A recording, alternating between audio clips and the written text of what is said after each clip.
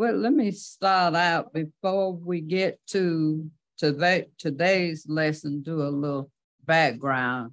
You remember we are studying about John the Baptist, the birth of John the Baptist. And uh, he is the forerunner to Jesus Christ. And uh, his parents, Zachariah and Elizabeth, had prayed for a child for a long time uh, and probably had even forgot about the prayer, thinking it was probably impossible because they are older in age. They're up in age past what would normally be the childbearing age. So uh, she said way past.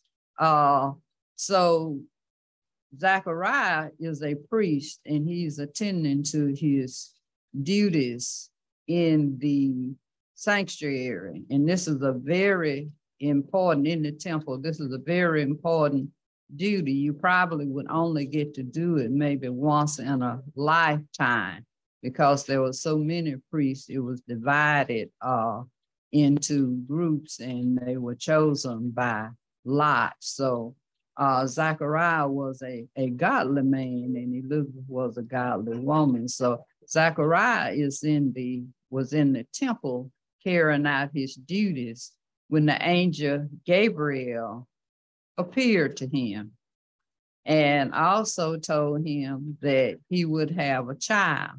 Well, Zachariah, like us, thinking this must be a joke. Okay. Think about if you're over 75 or whatever, and you don't have any children, your wife is old, and someone coming to you, you're gonna have a child you and your wife gonna have a child, gonna give birth to a child. And you know, we as humans, we say we trust in God and we have faith, but a lot of times we kind of put him in a box. We limit what he can do, although we say all things are possible through Christ, but we kind of put a limit on it. And so while we go through this lesson today, let's kind of think about our faith and the limitations that we put on our faith, or even a miracle happening, we explain it away some kind of way. Maybe it was just luck, but we try to put the human spin on it. But remember, we say, uh, through God, all things are possible. So Gabriel wants a sign. He gets it. He will not be able to speak the whole time that his wife is with child. So he can't celebrate, he can't run and tell me, he can't say anything. I think last week the challenge was how long can you go without speaking? So anyway, the time when we come up to the lesson today, um, well, let's back up and say Elizabeth was with child, but for five months she hid herself. No one saw her. And then during a three month period, her cousin Mary came to visit her, who was with child also, which was uh, carrying Jesus, our Savior. And so now today's lesson uh, comes at the time that uh, Elizabeth will give birth and you know our lesson saying um, the title Zachariah is redeemed. So we'll see that part today too. But we'll pick up today's lesson uh, where Elizabeth has given birth to the child. Uh, any questions, comments before we get into the lesson scripture? Okay. Uh, where's my mic person? Will someone read? Let's do it in sections, verse 57 through 60. Bring the gift is the title on.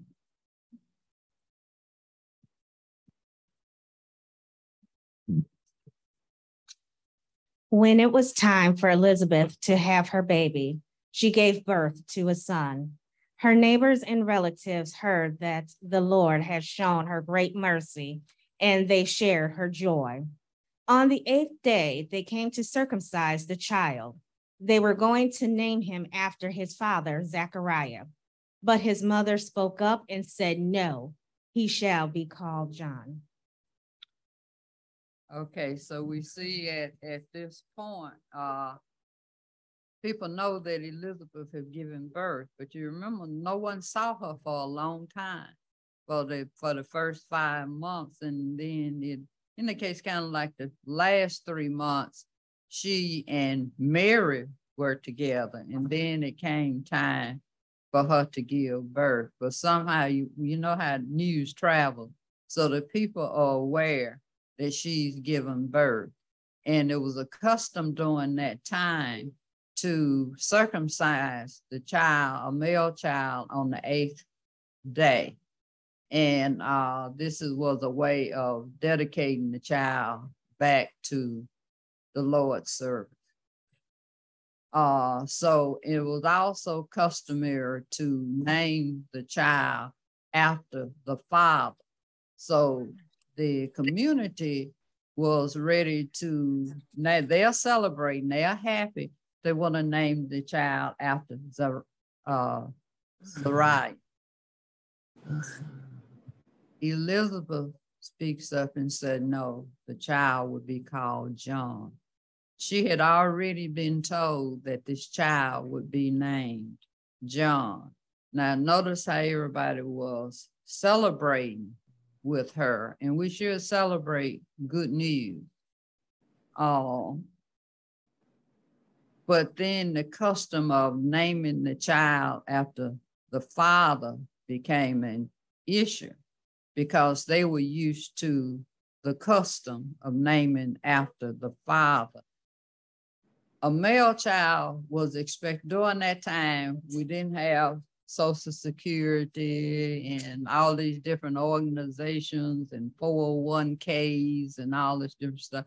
So they depended on a male child not only to carry the name on, but to take care of the parents and make decisions for the family.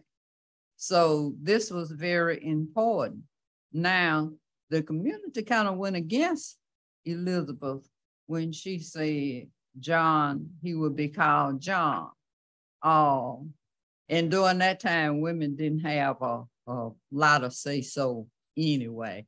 But before I get into that, let's read the second outline, which is um, bring the praise.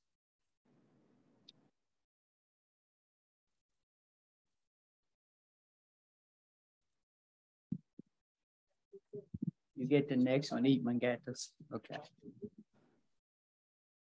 They said to her, There is no one among your relatives who has that name.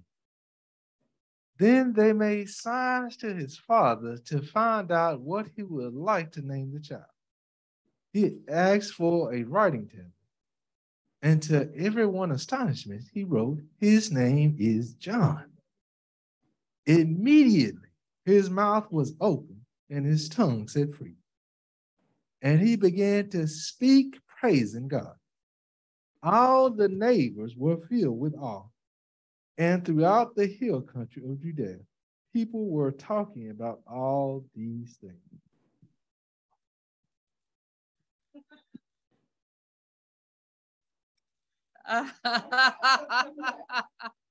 so, as you can see, Elizabeth had given birth. They're rejoicing with her. Now there's a family feud going on, isn't it? This child, lady, woman, you don't know what you're doing. This child is supposed to be named after your husband. This is tradition. And you trying to change it. There's nobody in your family called John. You have lost your mind. Elizabeth insists. She knows she's right. And that's what we have to do. When we know we're doing what God says do, we have to stand alone sometime. And I know we tell our children, you do right. If Johnny go jump off a cliff, you gonna jump off too. But we want to be accepted and standing alone is hard. So we as adults have to remember that too. If it's the right thing, then stand by it. We have to set the example. So she she stood on it's gonna his name is gonna be John. Well, the community, the family and stuff said, ah, no, uh-uh, you don't have the authority to do this. So then they go to the husband. He writes down, and remember, he can't speak. He hadn't been able to speak all this time. He writes down his name is John. So what did they do? They they accepted it. They immediately accepted it. Okay, but that was a custom during that time. Uh, and so what we can get out of that, then men, if you're gonna be the leaders, we don't have one and two in here now. But if you're going to be leaders and you know people are following you, be a godly leader. Do the right thing. Lead us in the right direction. We'll follow but you have to think about what you're doing in the effect it has on others. So he said his name will be John. And what happened? Immediately he was redeemed. Once he started trusting, uh, showing that he trusted in God, he was not doubting him. He's going to do what thus said the Lord. He immediately was able to speak. So everybody knows about this because they know for some reason or another he hadn't been able to speak. But now he's speaking from me. So that that that's think about that. Lord has told you he's gonna bless you. The baby is born and you still not blessed. And, and you you get into that eight day point and and everybody's celebrating and you still waiting. Lord, you when you gonna bless me? And then the opportunity comes for you to show how, how much you trust the Lord. And once you do that, he's like, okay, now you're ready to receive back what, what I had to take from you to get your attention. So, and on the naming part, uh, with the Noah having his name, initially we, I thought he was gonna be James. And Tamika, Tamika was like, nah, we ain't gonna do that. We got too many James in this family. We're gonna do something different. And now that I look at him, Noah fits in perfect. Okay. I couldn't see him as anything else. Okay. Okay. yes, ma'am. Wait a minute. It's amazing that Elizabeth was old but yet she didn't know the quote unquote rules or the regulations of what to name the child. It's not like she was just a young person. She had already known what the son would have typically would have been named throughout the whole life because mm-hmm. she's been through it. So mm-hmm. for her to say that his name is going to be John, there had to been a reason for that person's name to be John. Yeah, and and in reading the lesson, uh, I didn't see anywhere where they said that she was told the child would be named John. So it could have been that uh, through some means that her husband told her that the angel had told him his name would be John. And she was trusting, wasn't? I mean, she from from the very beginning, she was she was very trusting in what was going on. Uh, and God gives us a special person too. Let's back up to Mary went to visit her. Now Mary had unusual circumstances uh, for her pregnancy also, but they'll let you know God uses whom he wants to, however he wants to. And I guess I can add that in. There ain't nothing you can do about it. so, uh, and we might try to say God won't use this person or we write this person off or whatever, but God does not write you off. And even though uh, Zachariah stumbled, he still blessed him. All he wanted him to do is come back and show to where and do the things that he wanted him to do. And he carried out his priestly uh, task that he had to do. And, And he thought that was a great honor, and it was to be able to go in and burn the incense in the temple. You only got to do it, but that's not that's not the only plan. That's not the great thing that he had for him. So uh, a lot of times we are doing things, but God does not look at greatness the same way we look at greatness, and He wants us to be uh, His disciple. He wants to use us, and sometimes He has to prepare us. Sometimes we're not quite ready for it, all, but He will prepare us, and He's not going to leave us alone in preparing us. Now, let's look at the next outline and see what he had to say. You hadn't been able to speak for these nine months. You hadn't been able to rejoice. You've been scribbling stuff down or some other way, but you didn't have a voice. Now you have a voice. And the thing is, it said immediately when he did what God had told him to do, that angel had told him to do. And let's back up and say, why did he question? Because Gabriel was the one that uh, revealed this to him. And he should have, when he said, I am the angel Gabriel, that he should have been familiar with, okay, he's sent from God. But, and he didn't question that he was sent from God. He just questioned the ability, the time to have, but that's what we call miracles, right? Things out of the ordinary. Okay, let's uh go into the, the last outline and see what uh he had to say. Last outline. Just bring the light. And you, my child, will be called a prophet of the Most High, for you will go on before the Lord to prepare the way for him, to give his people the knowledge of salvation through the forgiveness of their sins, because of the tender mercy of our God by which the rising sun will come to us from heaven, to shine on those living in darkness and in the shadow of death, to guide our feet into the path of peace. Okay, so we see now Zechariah, he can speak and he is happy and he is praising the Lord and he's letting everybody know that this child is the forerunner of Jesus Christ. That he's going to tell everybody, prepare you for salvation, prepare you for Jesus Christ. And let and he was letting them know this is the way to salvation. This is what God is going to do because Jesus has not been born yet, but this is what God is going to do. And this is not your savior here because everybody want to know hey, what's going on with this child? This child got to be greatness. Everything about this child has been not the ordinary.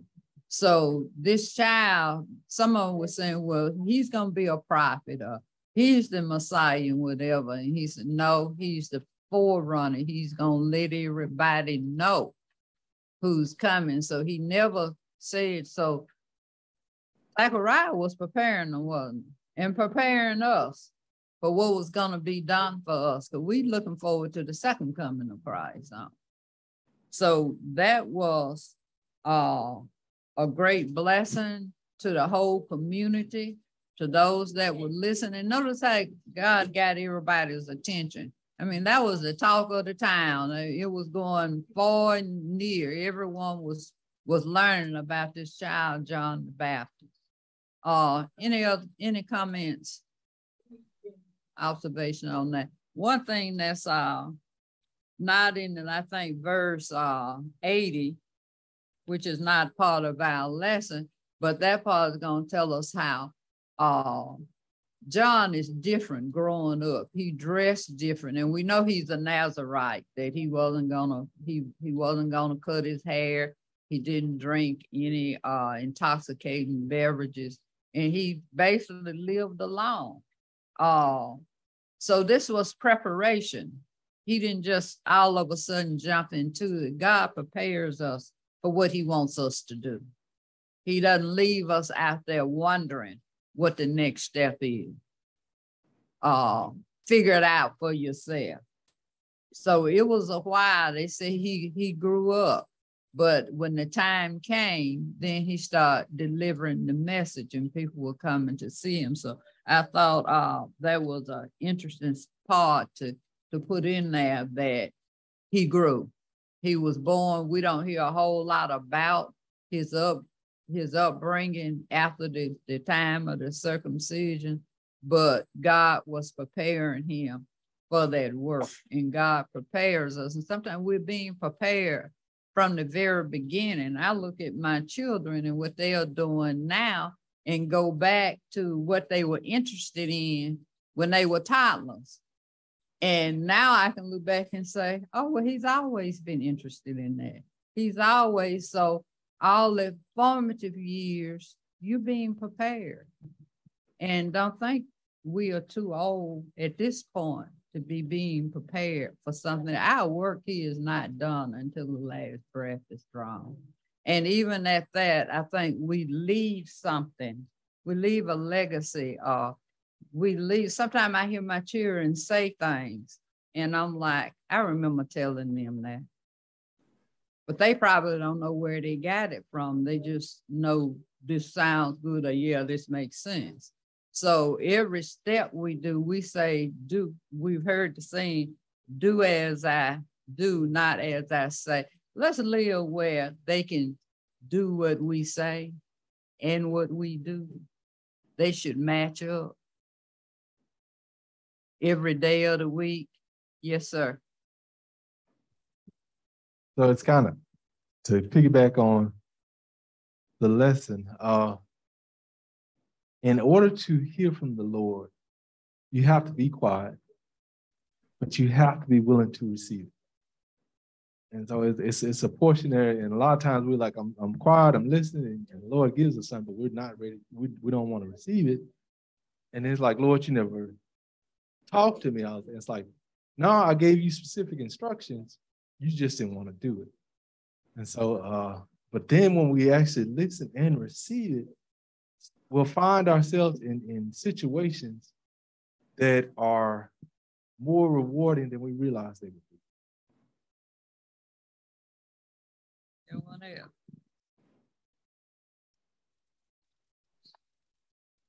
Yeah, yeah.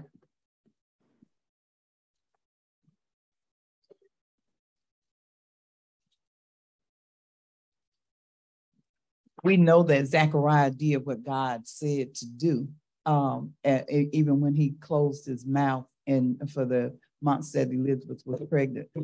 But what what would have happened if when they gave him that tablet and said, "Are we naming this baby after you?" and he said, "Yeah." Oh. oh. He'd never be able to talk again. You know, it, so, so I, and it and it talks about our obedience to God. What would be the uh, situations have circumstances or consequences? So, had he not done what God told him to do, where would we be? now that, that's something to think about the consequences of not doing what God tells you to do and the effect it has on uh, other people uh sometimes you hear people say well whatever i did it just hurt me. I didn't hurt nobody else. But your actions have consequences on other people also. And we need to be aware of that. And uh i don't think it was so much that he questioned god because we can ask god questions but he laughed as if this is not possible and it was possible. I think that's the problem. We need to realize that even though we have faith, how far does our faith extend? Sometimes we put God in a box. Sometimes we say, Well, I can't do this on my own. You sure can't. But you don't lean on your own understanding or your abilities and all. You lean on God, and we say all things are possible. And we know of miracles happening all the time. If you go back over your life, there's some things you came out of Well, I came out of. I said, look back over my life. There's some things I come, I came out of. It was nothing but the grace of God. And, and sometimes we look so hard for something a certain way that we overlook it when we get it because we've already decided how it was going to be. I used to tell my kids, I'm like, when you come running to me to tell something, you need to ask yourself three questions before you tell. Why? Is this going to help this person? Is this to get the person in trouble? Is this going to make it better for them in the future? And I had one, I won't say which one, I always come and tell something, say, you need to whoop them.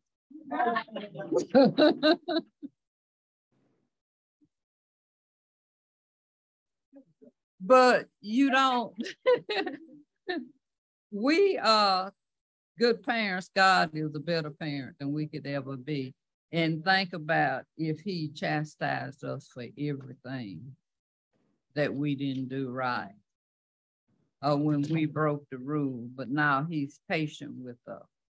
And He has a way of showing us the way that He would have us to go what he wants us to do. And he can use anybody. But even on those things we talk about, we should not have done that we did to. That's what this lesson is about. It's being redeemed. Once you're redeemed, all that's erased. God doesn't bring that up anymore. It's time to move forward and let him use you. And there's nothing that you've done that's so bad that you can't come back to the Heavenly Father that you can't come back. And that's a testimony in itself. we come back, we can show others he will accept you also. Any other comments, observations, closing? Sister, uh, Sister House, do you have a closing? You usually have some. Okay.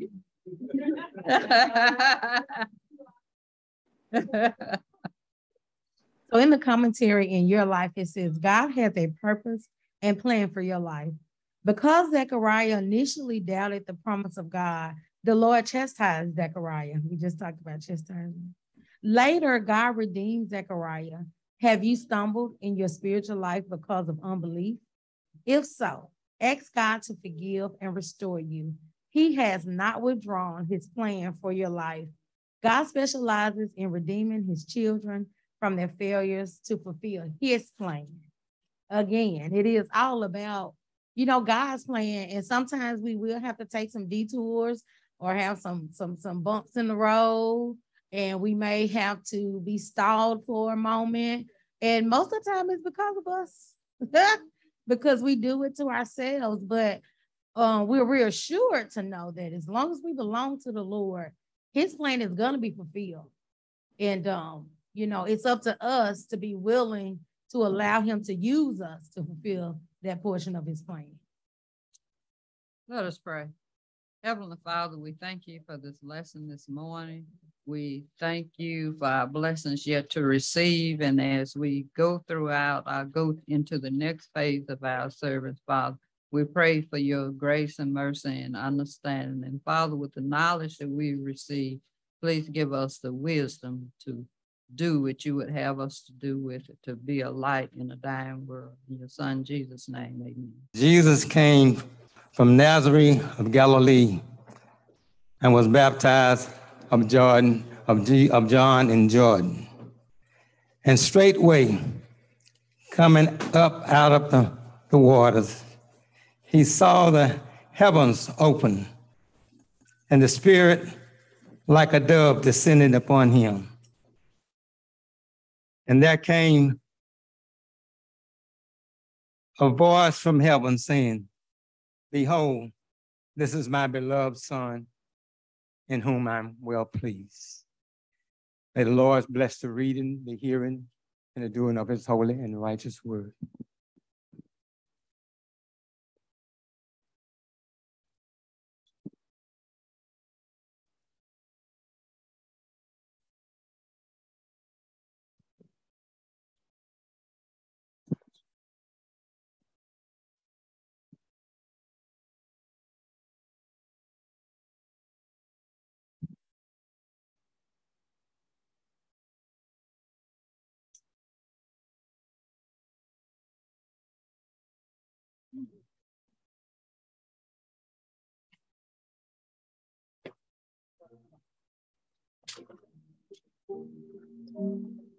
Bless you.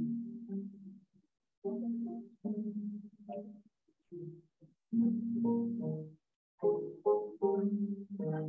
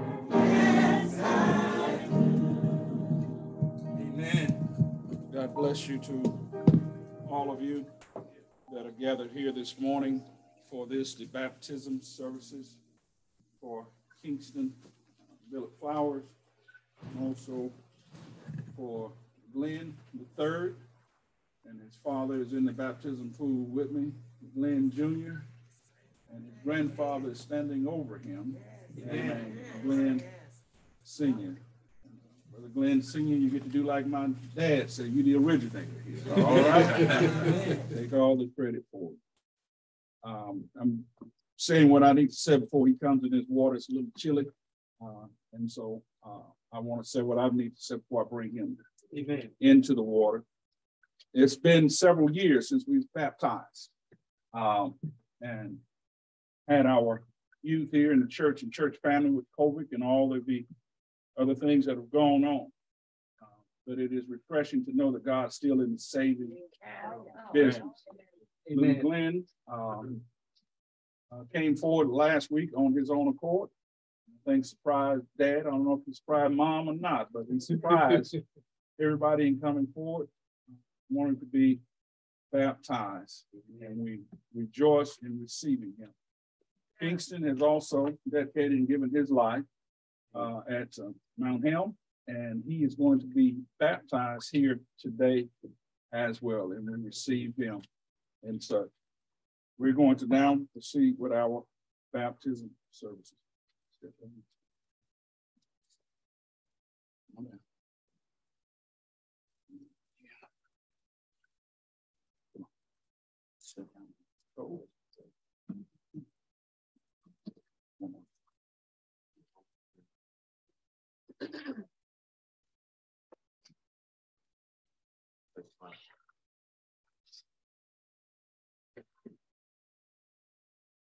According to the scriptures, we're reminded God's word, and that is repent of your sins and be baptized. That's it. That's it.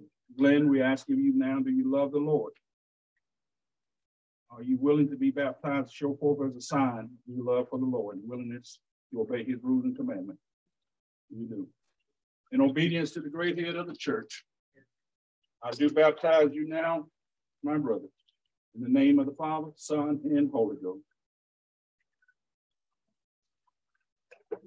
Amen.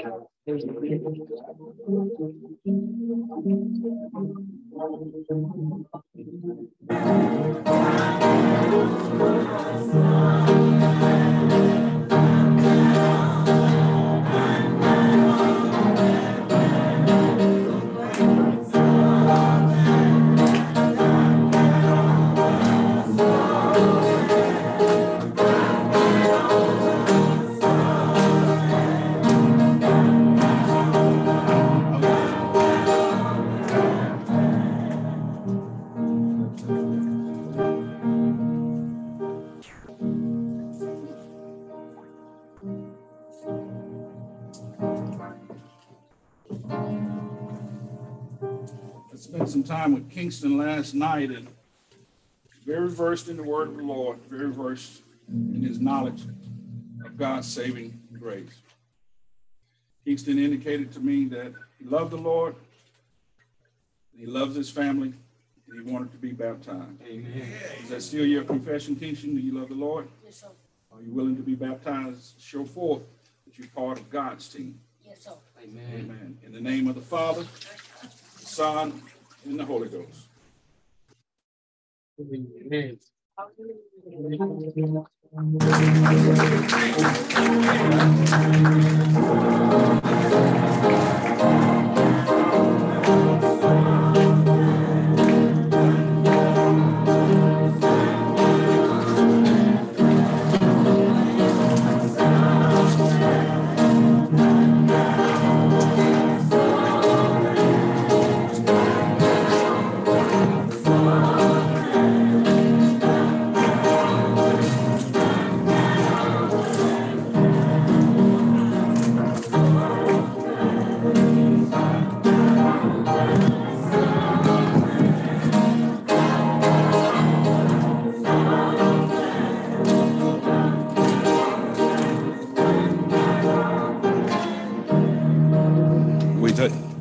God for this opportunity. We want to also thank the rest of the family members who have gathered here, who've come to be a part of it. Sister yes, Ann Wilkinson, we're most definitely honored and glad to see you, your brother here, uh, Minister Moore, as well, as well as as ah, little Glenn's mother and his sister was up here as well. Henry Lemmy and the rest of the family that have come to show their support here this day. We're thankful to you. Gracious Father in heaven, we thank you for all that you have done. We thank you for all that you're doing. We thank you for this blessed day. We thank you for this blessed hour that we were able to take two young people who have dedicated their lives to your service in obedience to what you have called them to do. The Bible says, Suffer it unto me that all of us should be as those two young children who are innocent. And Lord, they uh, come humbly in the only way that they know how and that's trusting in the people around them to provide and to take care of them. They trust now in the Lord to watch over all their needs. We thank you, we praise you, we magnify your name. In Jesus' name we pray. Amen. As they're finishing putting the pulpit back together, we'll go ahead and get started with the beginning of our service with a congregational hymn. Oh, come all ye faithful. And that'll be page 93 in your hymnal. That's, um,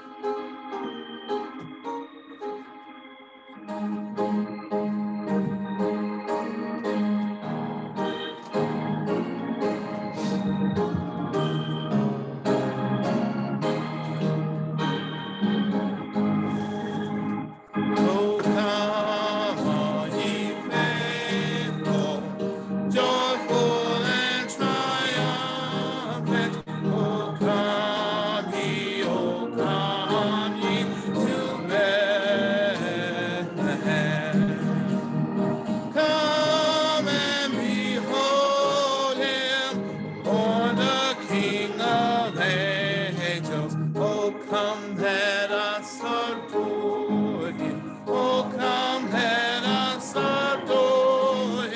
Oh,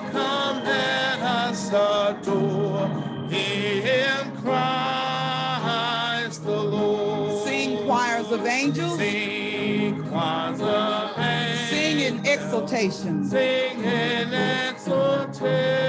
Sing all ye bright hosts of heaven above. Of heaven above. Glory to God. Glory to God. God. Glory in the highest. Glory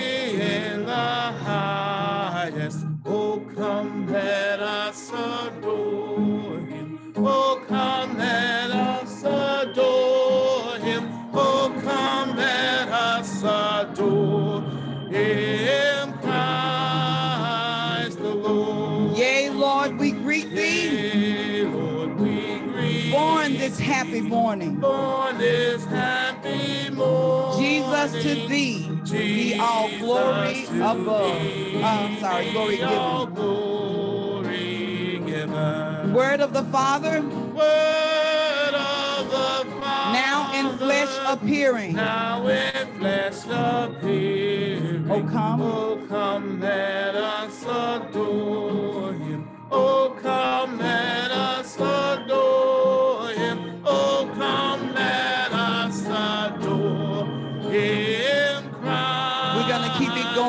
you all say, We give him all the glory. We give him all the We give him all the glory. We give him all the glory. We give him all the glory. We give him all the glory. forever. We praise his name forever. We praise his name forever. We praise his We name. praise his name forever. Praise his name forever. Praise his name forever. Christ. Amen. Thank you all. Amen. Amen.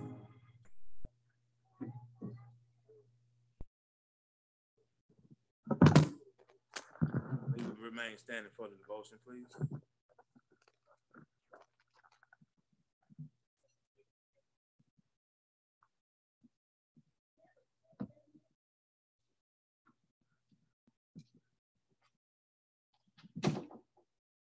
I'm reading from the New Living Translation, Romans 10, starting at verse 9. For if you confess with your mouth that Jesus is Lord and believe in your heart that God has raised him from the dead, you will be saved. For it is by the believing in your heart that you are made right with God, and it is by confessing with your mouth that you are saved. As the scripture tells us, anyone who believes in him will not be disappointed. Bless the reading and the hearing of his word. Amen. Good morning. Indeed, another day's journey. I'm glad about it. Know it might be a little rain outside, but we know he knows what's best for us. Amen. Amen. Let us pray. Our Father, which art in heaven, hallowed be thy name, thy kingdom come. Thy will be done on earth as it is in heaven. Lord, right now, we just like to take a portion of our time just to say thank you, Lord. Thank you for watching over us last night, Heavenly Father, as we rest, slept and slumbered, Heavenly Father. Watching over us, Heavenly Father, dispatching your angels to make sure everything was all right. Heavenly Father, waking us up to embark on a new day, a new week, Heavenly Father. And Heavenly Father, we'd like to just thank you. Lord, as we stand here in petition, we like to first off and say, just be with us, Heavenly Father, and protect us at all times. Lord, we're praying for our sick and our shut in. Heavenly Father, those who are in the hospitals, Heavenly Father, be that doctor that they need. Heavenly Father, those who are in trouble right now, Heavenly Father, and they need you to be a lawyer, Lord Jesus, and we ask that you to intervene, step in, Heavenly Father. Lord, there's a wayward child, a wayward boy, a wayward girl that's out there, Heavenly Father, in the world, dear Lord, and we ask that you protect them and guide them, dear Lord.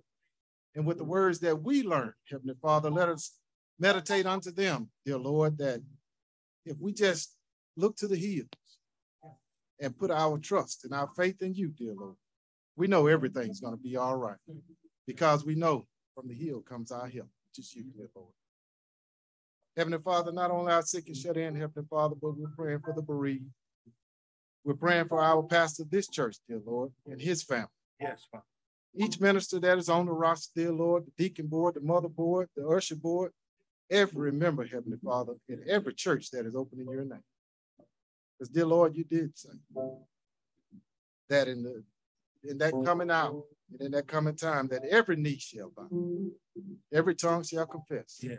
that you are King of Kings, Lord. Yes, you are. And we thank you.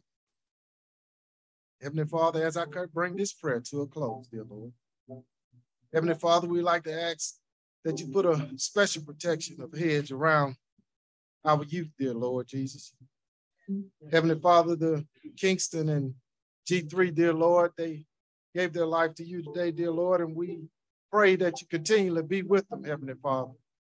Heavenly Father, strengthen them in their daily walk. Heavenly Father, guide them, dear Lord. Keep them out of harm's way. Heavenly Father, order our steps, order our hearts, and order our minds. These things in Jesus' name we pray. Amen. Amen. Amen. Pray on the Lord. I pray, O Lord,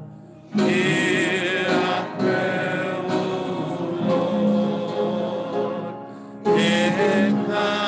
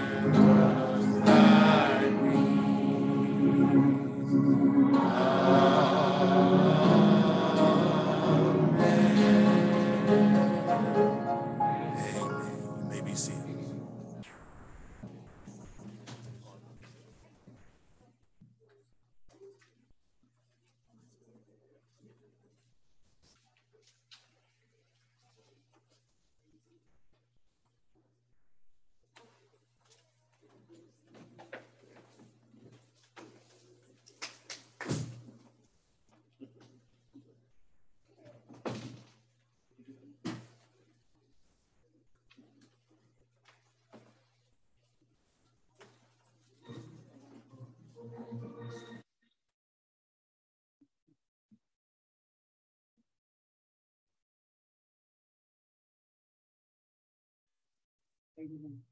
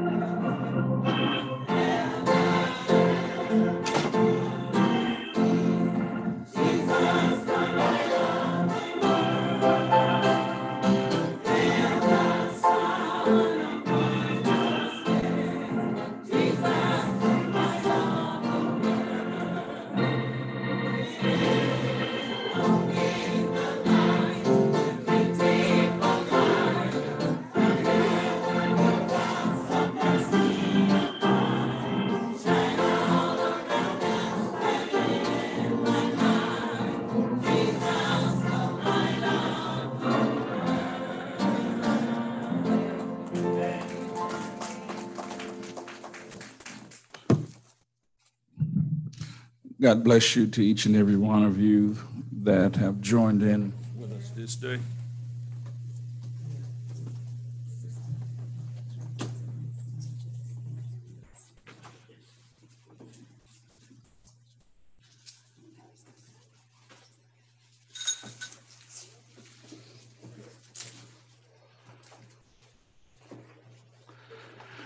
We are blessed to be here on what we call another day's journey. The songwriter says, and I am glad, I am glad about it. Um, we want to take a moment, first of all, just to lift up in prayer Sister Turner's grandsons has just been rushed to the hospital and as with any parent or grandparent, you don't know, it causes room for concern. We can trust and know that God uh, is still in the blessing business and God has everything under his control. So our prayers and our hearts go out to you and your daughter and the rest of your family um, and we're going to speak in a word of prayer. Amen. That the Spirit go before them. Amen. And make preparations to handle all things in the name of Jesus. In a word of prayer, Father God in heaven, we praying for them right now. We lift up uh, Sister Turner and Sharon and Audrey and Perry Jr. as they're praying for their nephew, their grandson, and their son right now. And Lord, I don't know the details. I don't know what's going on. I don't know what happened, but you know all things, and we trust you in all things. Even when we can't, don't understand them, even when we can't figure them out, we know that you're still working them out.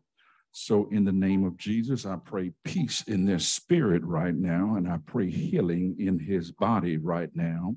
I pray healing in whatever doctor, whatever nurse, whatever paramedic, or whoever it may be that touches him in the name of Jesus, uh, that your power travel through them. And Lord, when it's all said and done, we pray that you're able to lift up Amen and give him the power and the abilities to give you the praise in front of all of them and just to be able to say, My God is able to all, do all things. So we trust you. We're praying for them and we lift them up right now in the name of Jesus. All in agreement, say amen. Amen and amen. Again, thank you.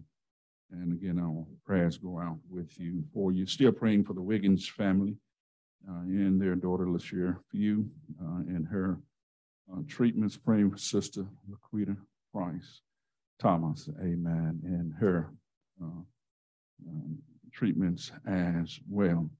Sister Wilkerson, you are here, but we're still praying, lifting you up and praying for you each and every Sunday. And I'm glad you were able to drag that old man out the house today and get him up there. Amen. He looked good up here. And we're honored and proud of you and your family. Brother Wilkins, do you mind? You want to introduce some of your family members back there? It look like it's a whole section, so I ain't gonna pick on you too much today. I can't handle all of them today. Amen.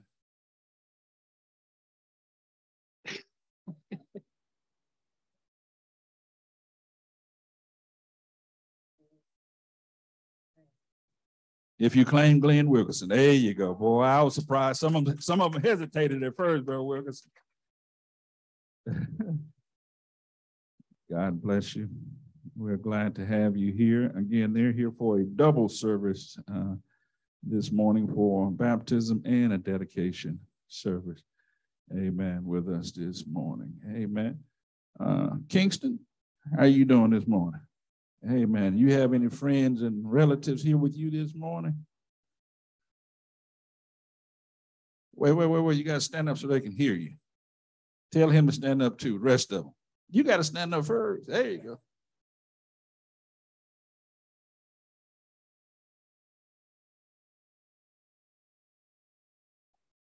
Hey, Kingston, you, you got they're at home, but you got some of your teachers back there as well. So we're glad to have all of them here. And we also have some members here uh, from uh, Mount Helm family that are participating with him uh, today. Did he leave anybody out? Let me. All right. Mount Helm family, raise your hand, stand however you want to do it. All right. Go ahead, Kansas. Kansas got one more. It's two back, three, several of them.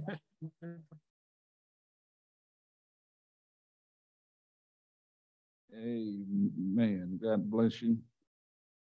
Um, again, we are honored to be able to have the baptism today uh, and baptizing those two uh, young men. That water wasn't too cold, was it, Glenn? Wasn't too cold? Yeah, okay. hey. Amen. We are blessed to have done that again as well. Um, trying to make sure I don't leave anything or anybody out. We do have some special birthdays this week. Before I do birthday, are there any acknowledgments that you're aware of? I'm not aware of any. Um, we have a birthday today. Uh, where Miss Bradford at? Oh, she here somewhere. I just spoke to. Amen. Uh, Zuri Davis has a birthday today. Zuri, all right, her birthday is today. Y'all let Miss, Miss Bradford know that. Amen. So she won't get in trouble with the children. Cynthia Hammond has a Cynthia Hammond has a birthday today, uh, this week. We want to acknowledge her. Brother Hammond, Cynthia Hammond has a birthday in one, two, three, in four days. All right. Amen. He put four days. You should do it in five days if you want to. You be in, back in the church. Amen. In five days. Uh, Christy's birthday's this week. 16th. Amen. Christy Flowers has a birthday this coming Friday as well. I have a grandbaby that has a birthday today as well. Happy birthday, Delaney. Amen. God bless you. Um, I think anyone else has a birthday this week. We think we have covered all of them. God bless you. Come now as we continue our worship service, as we give back to God that which already belong unto him, as we surrender unto him his tithes and our offerings. Come.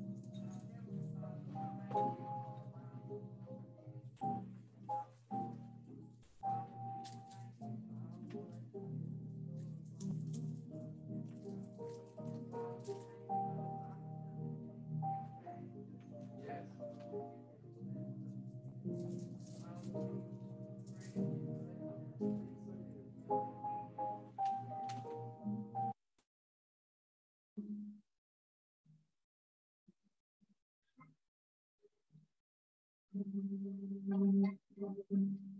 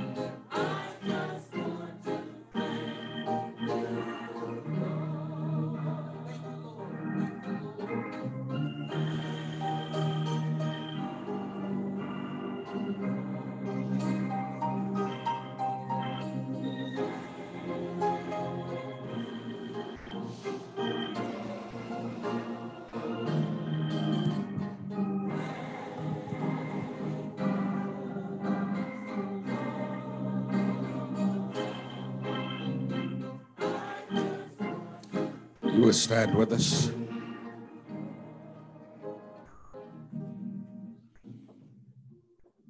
Father God in heaven, we thank you again for this another day's journey in which you clothe us in our right mind and you started us on this pathway called life on this day that no man or woman has ever seen before. We embark right now, gracious Father, on minutes, hours, and seconds that you have given to no one else. But for some reason, you allowed us to see it, and we are thankful for it. You said in your words that when we pray in our daily prayers, we should ask, Give us this day our daily bread. Whatever we have in need for, whatever you have in store for us. God, we understand and realize you already know about it and you've already made the provisions for it. And we thank you.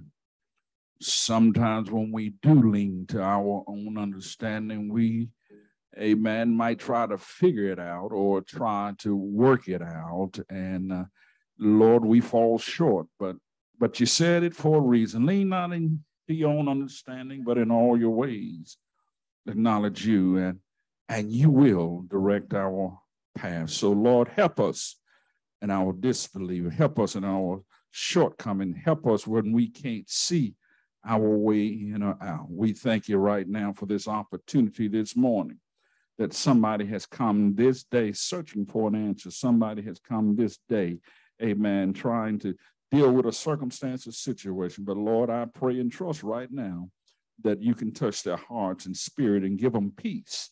Lord, they are praying that you might change somebody. They're praying that you might change their circumstances. They're praying that you might change their situation.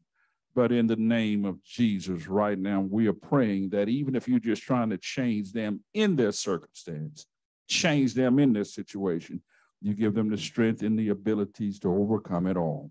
We thank you right now for those that are gathered here this morning for this, the dedication service. We praying right now your anointing. We're praying your blessings upon. In the name of Jesus, we pray right now that your spirit hovers over and covers all. In the name of Jesus. Satan has no room. Satan takes no place this day in Jesus' name. Now bless this offering. Bless those who have given. Bless those who have come. Blessing these candidates in baptism who just baptized. We put it all in your hands. In Jesus' name, we ask. And in Jesus' name, we do pray. Amen.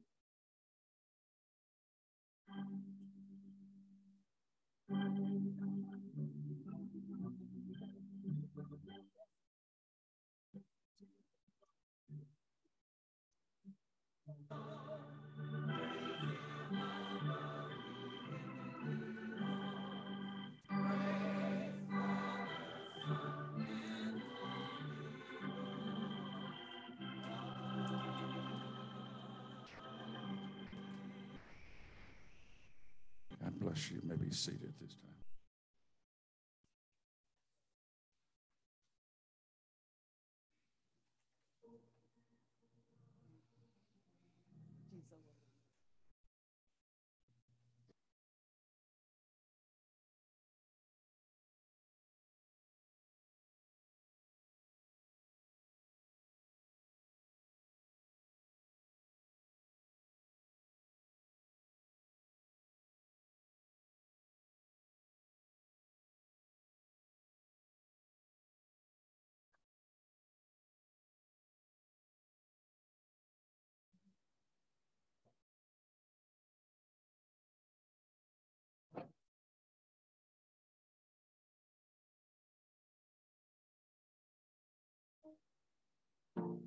Thank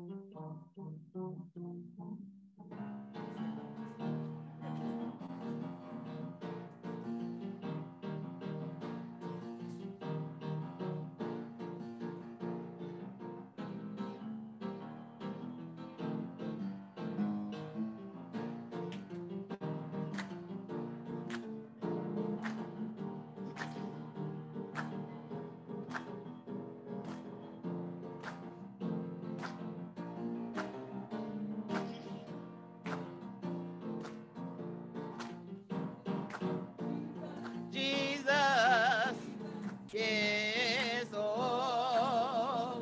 Wonderful child. Singing Jesus, Jesus. Yes, so holy, making mild, new life, new hope to all he brings. Listen to the angels sing glory, glory, glory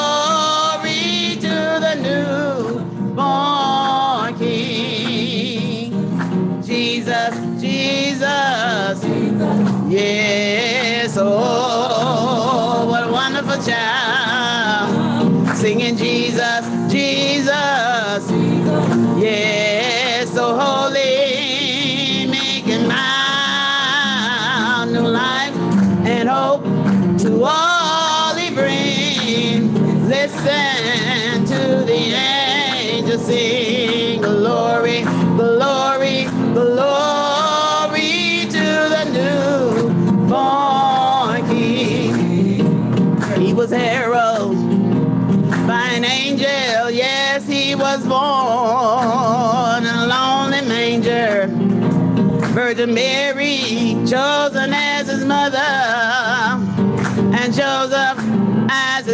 father.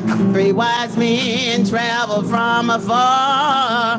They were guided by a shining star to see King Jesus where he lay in a manger filled with hay. Singing Jesus, Jesus.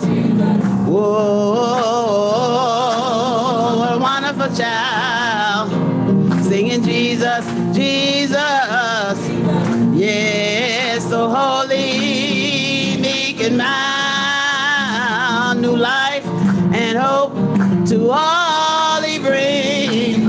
Listen to the angels sing glory, glory, glory to the newborn King. He was heralded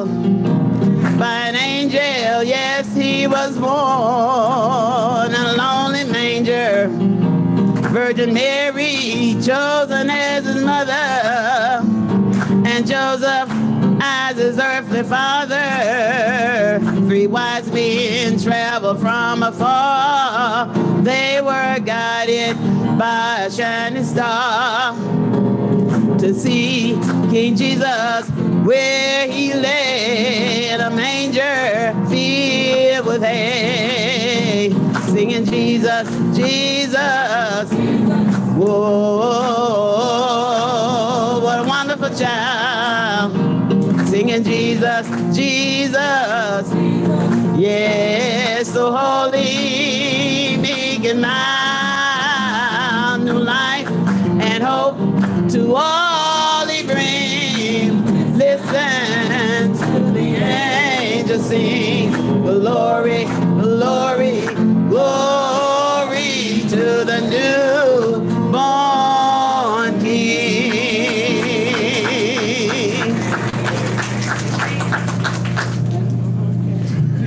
God bless you. Come on, stand with us. Amazing grace, how sweet the sound that saved a wretch like me. I once was lost, but now I'm found. Was blind, but now I see.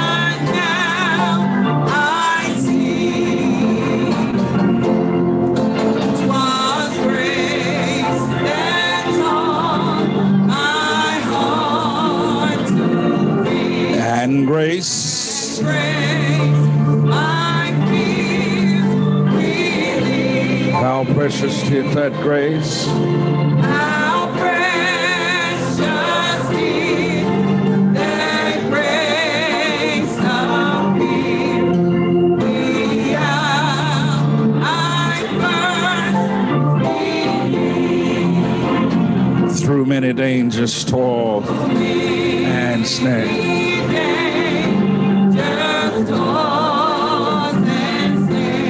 Have already come. It's His grace that brought me safe thus far.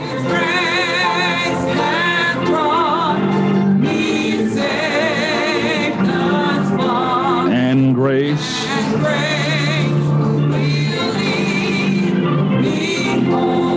And when we've been there 10,000 years.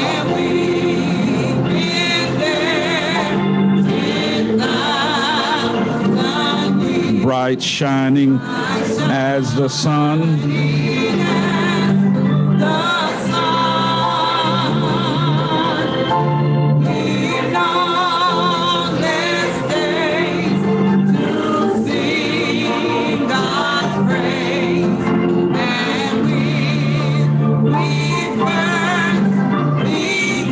You don't mind, come on, praise God, praise God, praise God, for he's worthy. For he's worthy to be praised. From the rising of the sun to the setting of the same. You ought to have a reason to praise him. In the name of the Father, Son, and Holy Ghost, and his spirit that dwells in and around us. To God be the glory forever and forever and forevermore. Amen. God bless you. You may be seated in the presence of the Lord. God bless you, Sister Mentor. Our prayers are with you. Amen. This morning, I understand. Amen. There's a word that I will ask of you to sh- look at with me this morning that comes from two passages in the Bible. The first word picks up where we left off last week in the book of Luke, chapter 1, verse 39.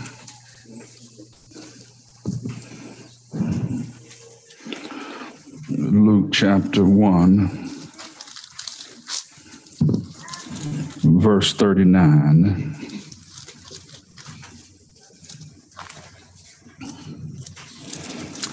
The second passage will come from John chapter 1, verse 29. Luke chapter 1, verse 39.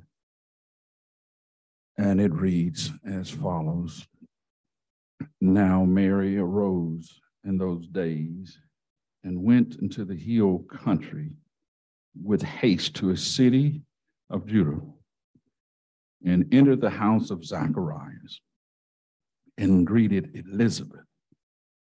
And it happened when Elizabeth heard the greeting of Mary that the babe leaped in her womb. And Elizabeth was filled with the Holy Spirit. Then she spoke out with a loud voice and said, Blessed are you among women, and blessed is the fruit of your womb. But why is this granted to me that the mother of my Lord should come to me?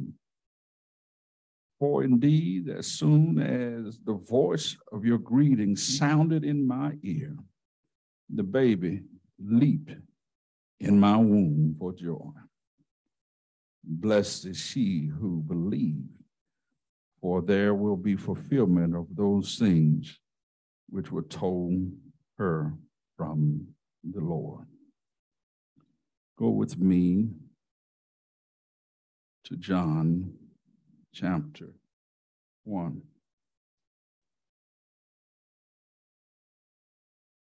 John chapter 1, verse number 29. The next day, John seeth Jesus coming to him and said, Behold, the Lamb of God, which takes away the sins of the world. This is he of whom I said, After me cometh a man which is before, before me, for he was before me. And I knew him not. I think I better say that again. And I knew him not, but that he should be made manifest. Israel, um, I'm sorry, to Israel. Therefore am I come baptizing with water. And John bare record saying, I saw the Spirit descending from heaven like a dove, and it abode upon him. And I knew him not. I think I better say that again. And I didn't know him. But he that sent me to baptize with water, the same said unto me, Upon whom thou shalt see the Spirit descend and remain on him, the same is he which baptizeth with the Holy Ghost. And I saw and bear record that this is the Son of God. Amen. God bless you. On last week, we spoke a word from the book of Luke where the angels had come and spoke to Mary. Gabriel, angel Gabriel came to Mary and spoke and told her, Blessed is she among women and have found favored in the eyesight of the Lord. Blessed and highly favored, we talked about on last week. This particular text here picks up at the same point where she finds herself talking with Elizabeth. And Elizabeth said the same thing that she was blessed. Um, the Lord. From the book of John, I used to hear the little kids say John the Baptizer. John the Baptist, what a fitting word to possibly share this morning on a day that we have baptized two. Bear with me for just a moment. Amen. We, we won't hold you long. I know my Baptist preachers and all Baptist preachers said it, but this one won't hold you long. Amen. Amen. I, I, am only going to say I'm going to close one time, Brother David, then I'm going to bring it on in. All right. But I've got to kind of bounce around a little bit. Um, Jesus said throughout the Bible many things that taken in their own individuality just are statements, but when you bring them together, it drives home a point. While he was walking with his disciples, he said something like this except a grain of seed falls to the earth and die, it can't come forth again. Hmm. He told him one time, he says, A day is coming when men will give me up and I will leave you. And he says, The temple will be destroyed. But in three days, amen, it will rise up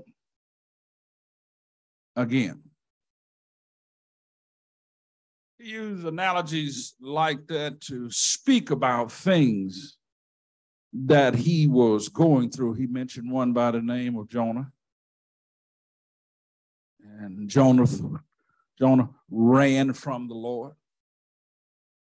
And the Bible says that God had given him instructions to do, but he did not want to do them. So the Bible said instead of him going where God wanted him to go, he went down to a city. He went down and got in a ship, and he went down and got in the lower part of the belly of the ship and found themselves in troubled water on the seas like the sailors had never seen before. And he realized and understood that he was the cause of the troubles on the water, troubles in the ship. And then he voluntarily said, Just throw me overboard. Your troubles will be over. And they put him actually overboard and threw him down in the water. And the Bible says a big fish, a whale, came and swallowed him and took him down to the bottom of the sea. But after some three days in the water, he came back up.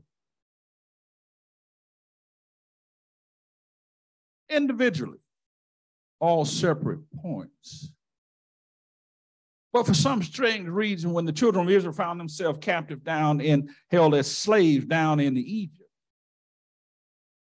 comes to take away the sins of the word. I, I got I'm sorry, but I'm a little confused. Y'all got a question. Somebody need to help me out because I read a scripture a few minutes ago that says, I don't know.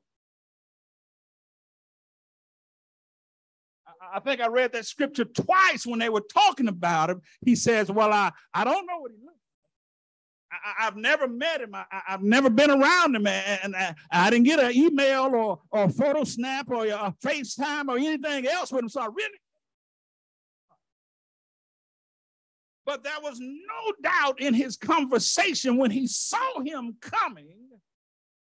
He says, Behold, the Lamb of God That's a testimony in itself.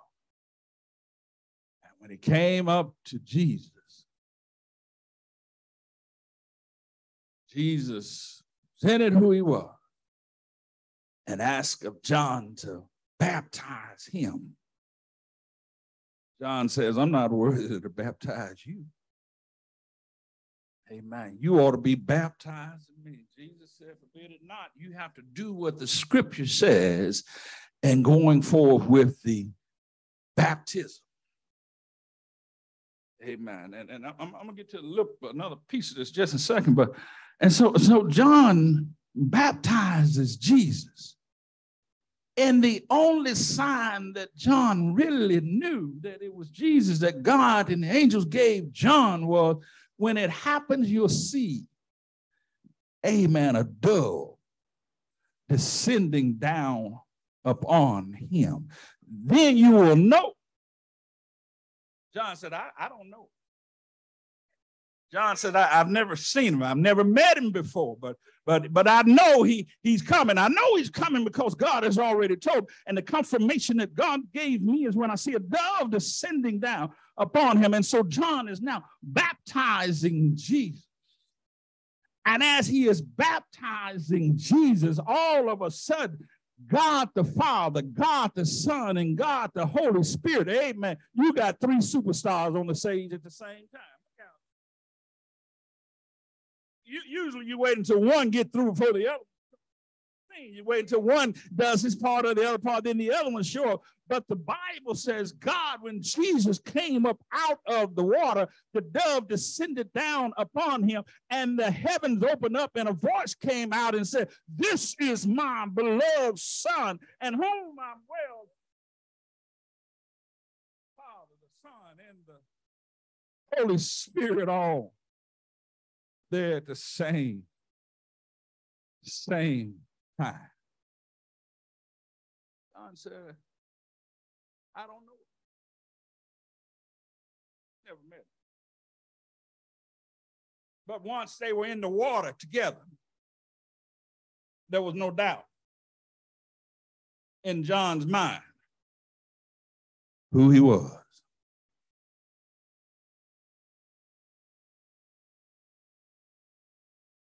These two young people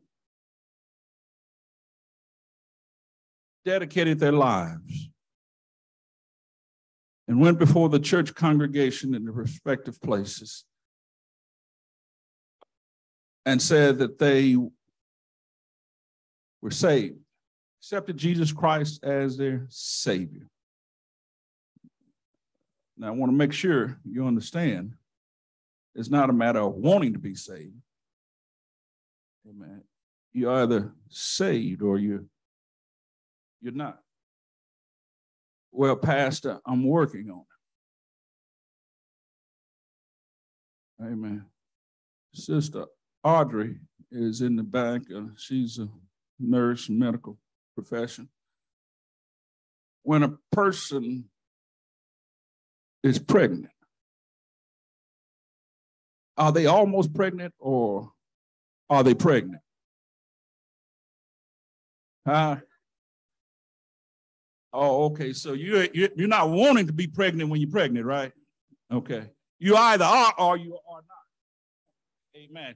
You're either saved or you are not. There's not a I want to be. There's not a I'm almost or I'm working on it. Amen. The Bible says if you confess the Lord Jesus with your mouth and believe in your heart, Brother Langston read it from the, uh, a different version this morning. He said, You will be. King James said, You shall be saved. It is definite. It's not a matter of you uh, contemplating or uh, calculating how it is to be done. It really does not involve you, except for the fact that you accept. And some of us feel that we've got to work to be saved. You can't work enough to be saved.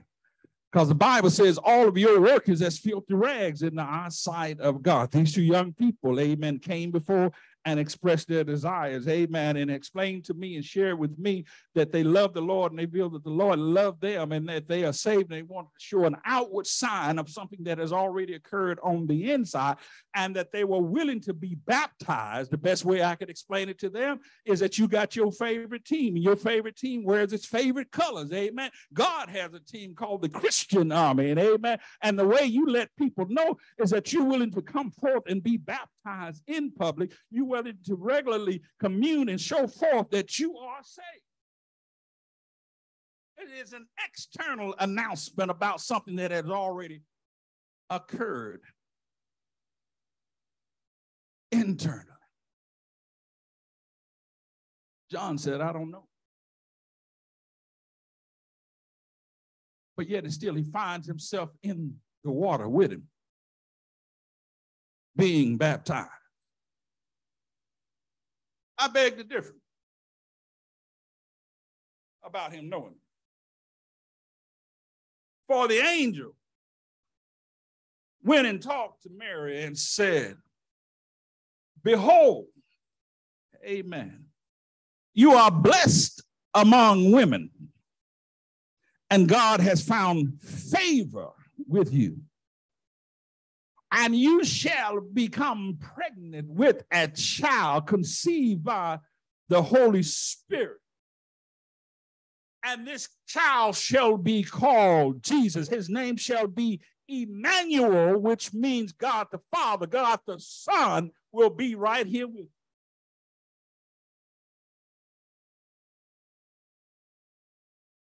And so we preached on that last week. And after the angel finished, Mary kind of kept things to herself and said, I'm just going to wait and see. But if you read the passages before that, the Bible says the angel went and visited Zachariah too. Somebody was talking about that in the Sunday school. Yeah, I don't think I've been listening to you, but I'm listening. Amen. So be careful what y'all say about the pastor in Sunday school. Amen. He listening. and the Bible says, Zachariah, I know you only have a few more weeks till you retire. Sit back, relax, and enjoy the rest of your life. Uh, but before you retire, amen, I, I, I need you to get ready to play some football with your little boy in your late stage of life. The Bible says your prayers have been answered. Amen. And if you like me, you just kind of go over the prayers you prayed in the last week. But the Lord went back some 30, 40, 50 years ago and picked up one of those old prayers that him and his wife might have a child. Dusted off that prayer and brought it some 50, 60 years later and said, Now it's time for you to have a child. Look out, boy. yeah but God will bring them right on time. And, and, and they talked in the Sunday school lesson about how he didn't believe, he didn't understand, and God silenced him. And soon his wife, Elizabeth, became pregnant hmm. In her old age. Mary heard about it, and angel shared the that this had happened to her cousin Elizabeth. So now I pick up with the passage this morning where Elizabeth, uh, Mary runs to Elizabeth's house. And she's pregnant with Jesus. And Elizabeth is pregnant with John. And as soon as Mary knocks on the door, the Bible says, and she recognized it was Mary. John got upset, baby. he started jumping for joy inside of her womb. Now, he said he didn't know. As she began to talk with Elizabeth and tell Elizabeth about what had happened to her. Last week we talked about old John and his holy muse. I wish I had to say that one for today. Amen. because John in the inside of Elizabeth is listening to this conversation that is going on.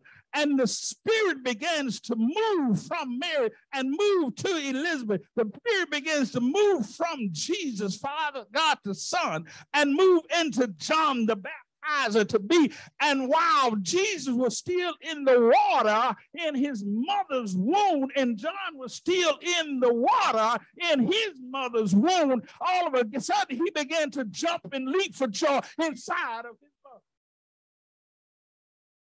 And here it is, some 30 years later, John said, yeah, you know him. You met him when you were in your mother's womb in the water, and now you meet him again in and now both of you are in the water again together.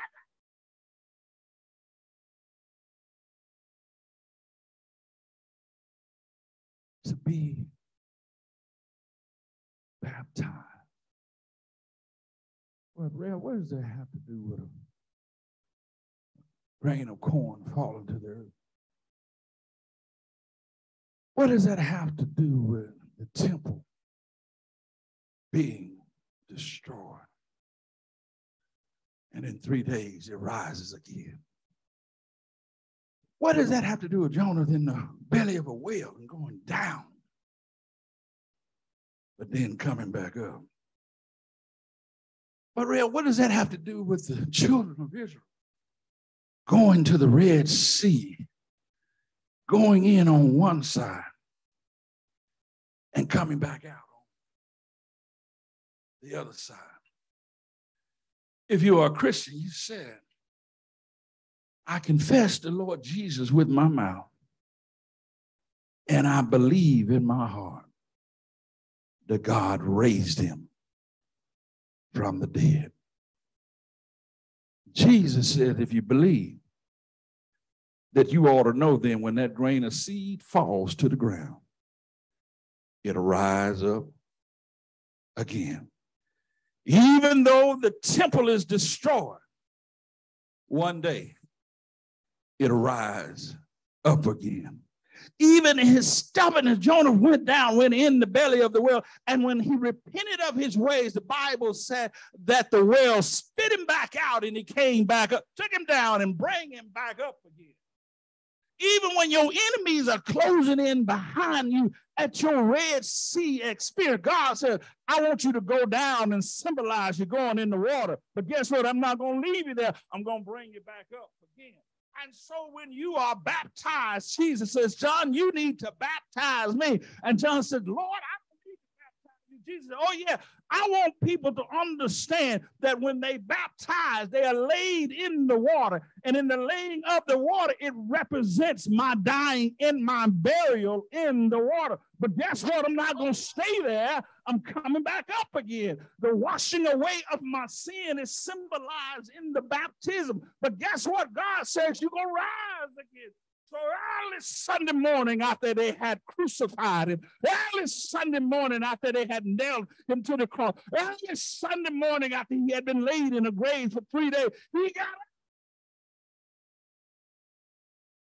He got up, he got up, he got up with all the power in heaven and earth. And he says, when you are willing to be baptized, you're playing my themes. When you're willing to be baptized, you're putting on my uniform. When you're willing to be baptized, you're going to be like I was with Lazarus when his sister Mary and Martha called for Jesus and said, Hurry, their friend Lazarus is sick, amen. And Jesus stayed where he was for four days didn't go and see about his friend Lazarus. But then on the fourth day, he got up and started going to see about Lazarus because he got word that he had died. And his friend said, Lord, he's dead. Now, his friend said, No. Jesus said, He's but asleep. Amen. I want you to understand. I want you to realize when God talks about somebody and when we refer to them being dead, God said, No, they're just asleep. So, guess what? It's just like the baptism they're going to lay down, just like I said with Jesus. You may lay down. But one great morning, you're going to rise up again. Show me where you gave up and show me where you laid his body at. Bible says he called Lazarus even from the grave and brought him back to life. As Christians, our faith doesn't lie in the fact that we know God. The devil knows Christians, our faith didn't lie in the fact that he was, Jesus was a great prophet. A Muslim recognized him as a great prophet. Our, as a Christian, our faith does not lie in the fact that he was a Hebrew, that he was of the Jewish persuasion. The Jews recognized him, they just didn't accept. It's more to just knowing. The Bible says you know him by calling on his name. Jesus, Emmanuel. But most important, believe it in your heart that God raised him from the dead. That's where Christianity separates itself from anybody else. Your baptism is showing his death, his burial, but then most of all, rising back up in his resurrection. The reason for the season that we celebrate right now is that God loved us so much that he gave us his only begotten son, and his name is Jesus. Now, you may go around and say, Well, I don't know. But I venture to say he knows you and he wants to have a relationship with you this morning. Come now. We extend an invitation to you. The doors of the church is open. Come now.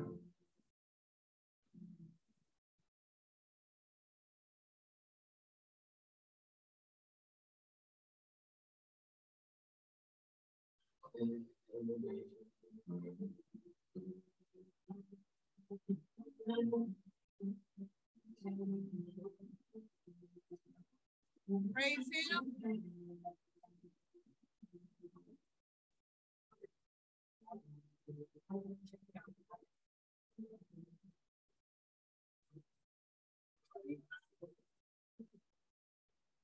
Doors of the church are open. If there's one, let them come at this time, whether by letter, candidate for baptism, or Christian experience. We extend this invitation to you. Come now.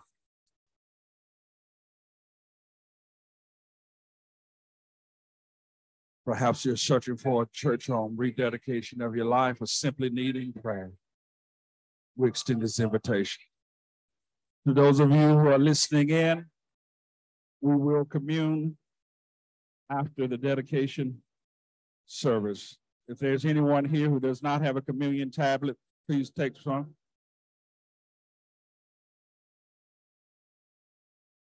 Raise your hand again. You need a communion tablet.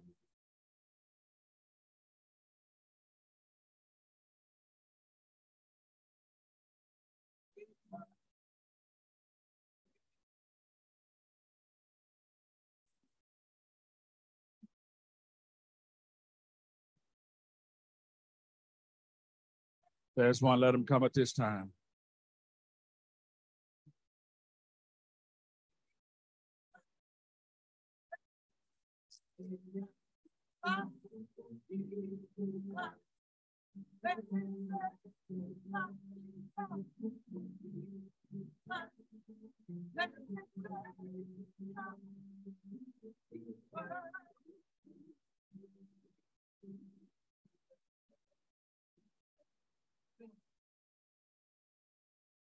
God bless you. At this time, we're going to take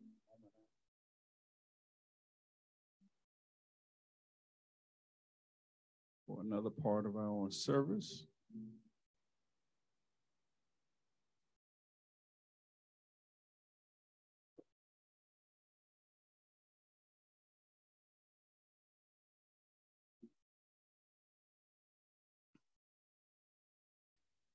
Just stand in the center if you don't mind. If there are grandparents or godparents or anyone else who would like to stand with them, you're welcome to do so. If you want to stay where you are, that is fine as well. It is up to you. Any other relative? Come over side of Reverend Moore.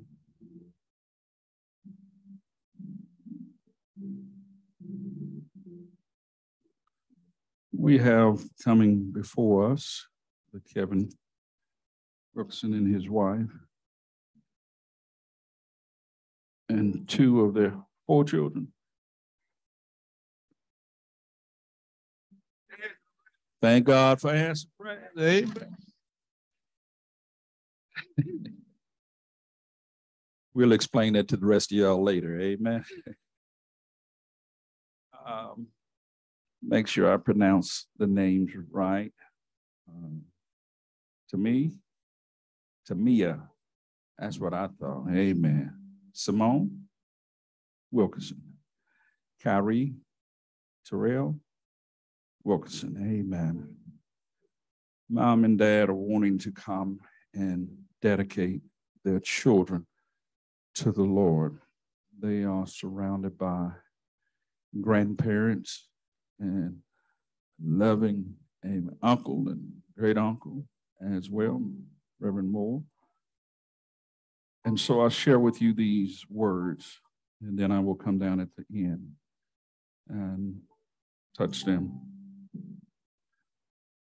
The word of the Lord says this in Deuteronomy 6 6 and 7. These commandments that I give you today are to be upon your heart and press them on your children. Talk about them when you sit down at home and when you walk around along the road and when you lay down and when you get up. Remind your children that they're God's children and God has entrusted them in your hands in the book, it tells of a woman who prayed to the Lord who was barren, and the Lord blessed her with a child. And she says, Lord, the women are mocking me, and the women are talking about me. If you just bless me with a child, I'll give this child back to you.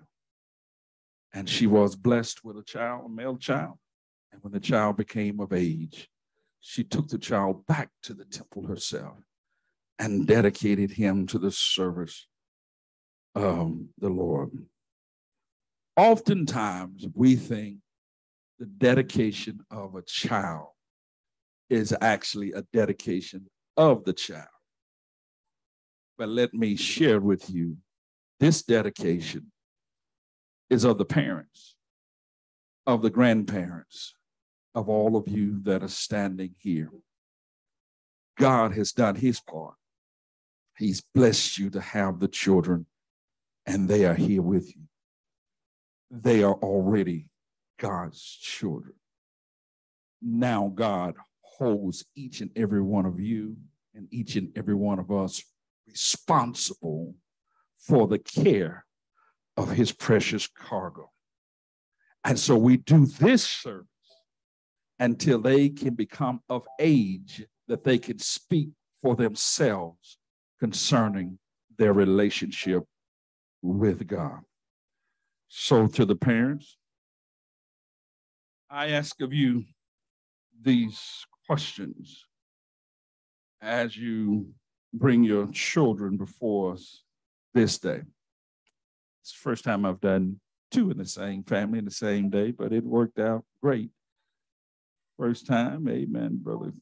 Lynn Wilkinson Sr. was able to time this so he can get all this done in one day. Amen. He's an efficient person now. Amen. So I ask you to answer these questions for your children by simply saying, We do, if you agree. Do you here this day recognize your children as a gift from God and give heartfelt thanks to God for these blessings?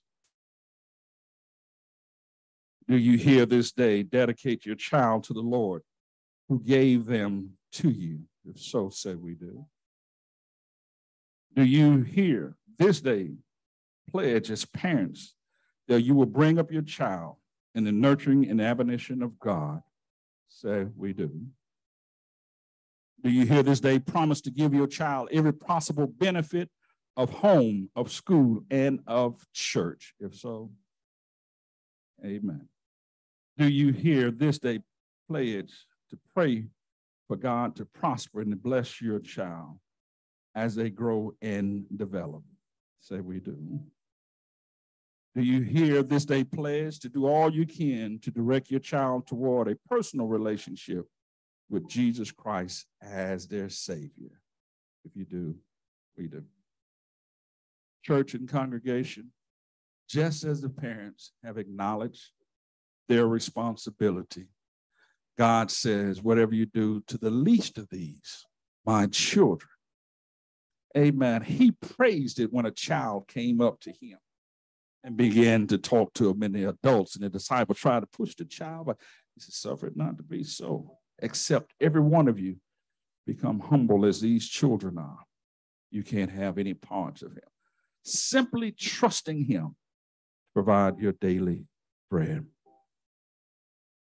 Church family, do you also accept this responsibility in helping to raise and care for these children and bringing them up right in the sight of the Lord? If so, say, We do. God bless you. Father God in heaven, we thank you. We praise you. We magnify your name. We pray your blessings upon these parents.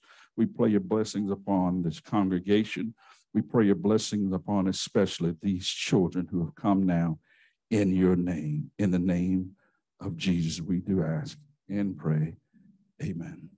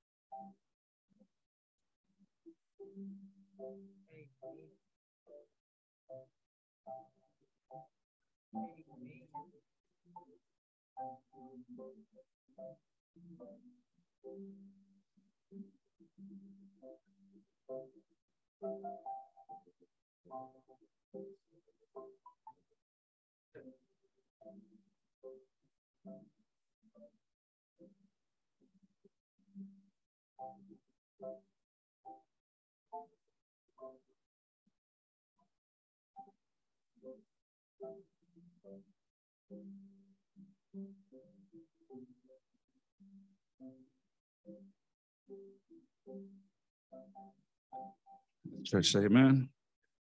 Amen again. Brother Kingston and Glenn, if you would come forward and stand out front. You get it open? Take the tablet out. Broke it. It's okay. You you would kind of help them.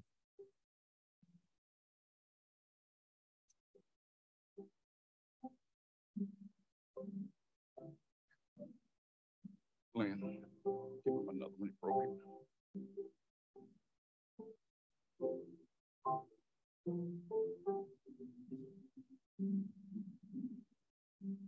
it.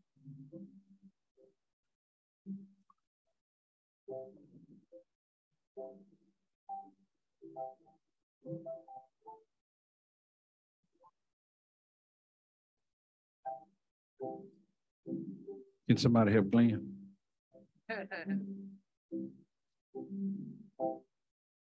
He got it now. Amen. There we go.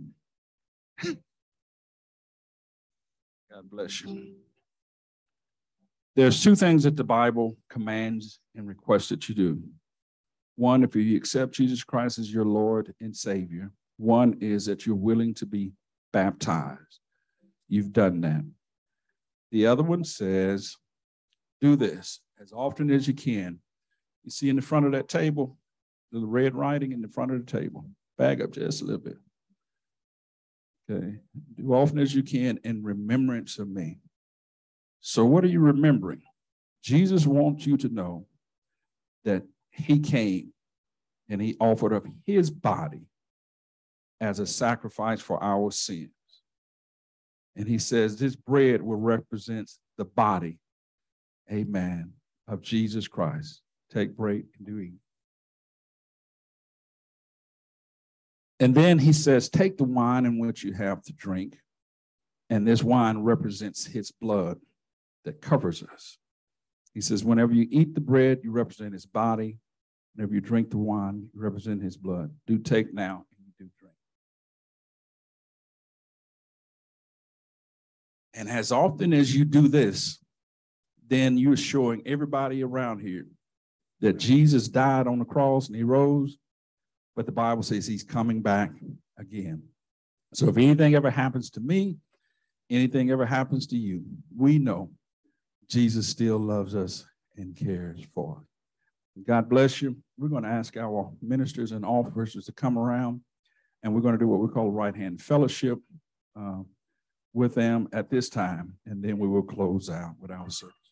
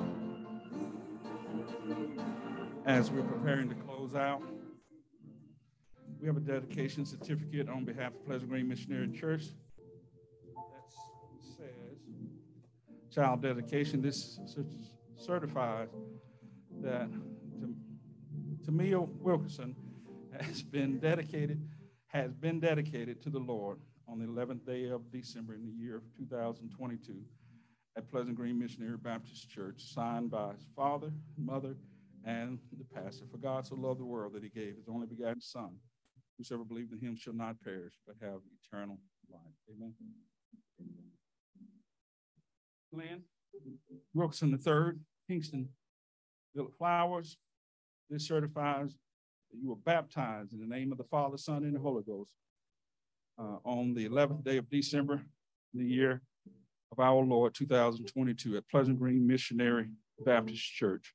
Matthew 28, 19, 20. Go ye therefore and make disciples of all nations, baptizing them in the name of the Father, Son, and the Holy Ghost. Pastor Darrel McQuirter and her to sing Mayberry Church Lord. God bless you. God keep you. And give the Lord a hand praise for them.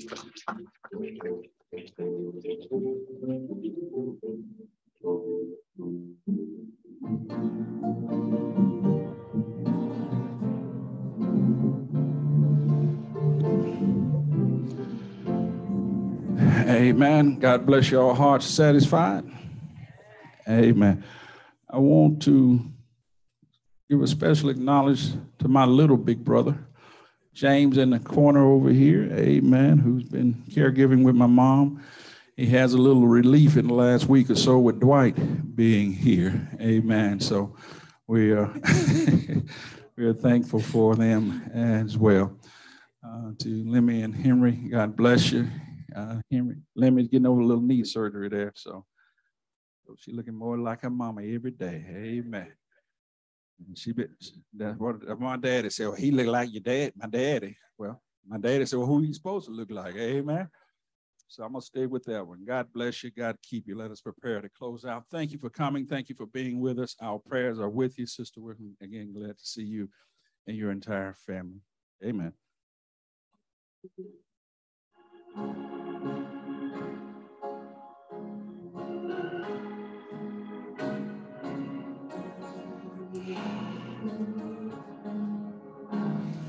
Come on, join in with us. Sing. Let the church say amen. Let the church say amen. Let the church say amen.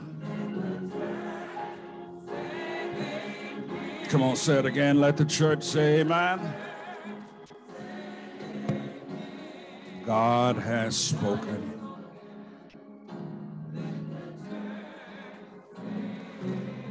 Can you say it again with us? Let the church say amen. Let the church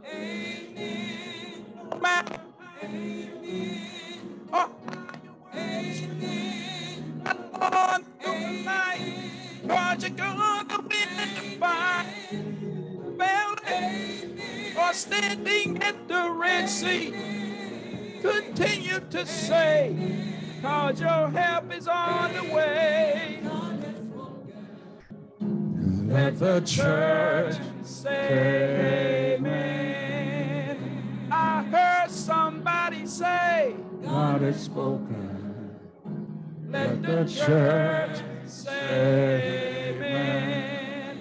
I heard somebody say, God has spoken. Let the church say amen. to the Hampton family, Dion's mom, we're glad to see you here with us this morning as well. To Sister Turner, we're keeping you lifting up in our prayers as well. To our candidates and those dedicated in the family, we pray traveling grace for you that are traveling back. God's protection over each and every one of us. Now unto him who is well able to do exceedingly and abundantly above whatsoever we ask or whatsoever we think. To God be the glory forever and forevermore. God has spoken. Let the church say amen. God bless all of you. Amen.